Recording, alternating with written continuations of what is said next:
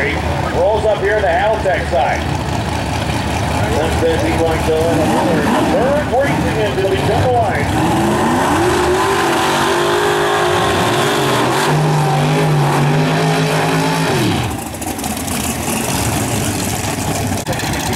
The the the the the Nova. This is cool. Thousand bucks. First one of the strike. Yeah, believe Brent King so far.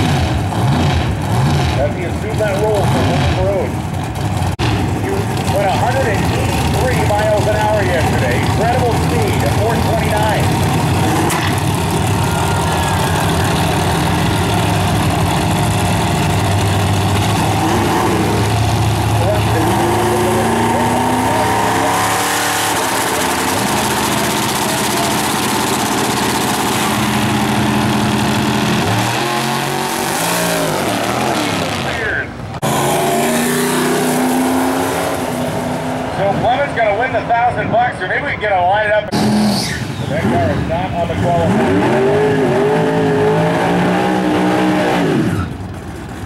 Chris Winter coming up on the same side as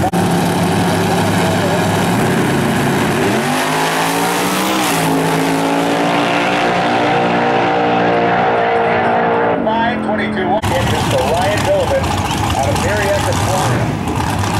Turbocharged and the nitrous injector rules around for that inline ignition. Engine for Ryan Billiman out of Marietta, Florida. Turbocharged and the nitrous injector rules around for